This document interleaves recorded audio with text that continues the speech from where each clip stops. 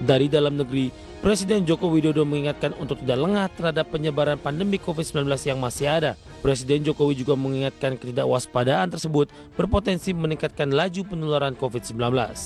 Dengan semakin gencarnya pelaksanaan vaksinasi yang dilakukan pemerintah, diharapkan dapat menekan laju penularan COVID-19.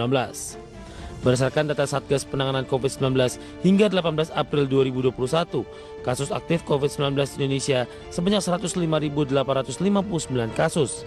Angka tersebut berasal dari 1,6 juta total kasus positif, dikurangi 1,45 juta kasus sembuh, dan 43.424 kasus meninggal dunia.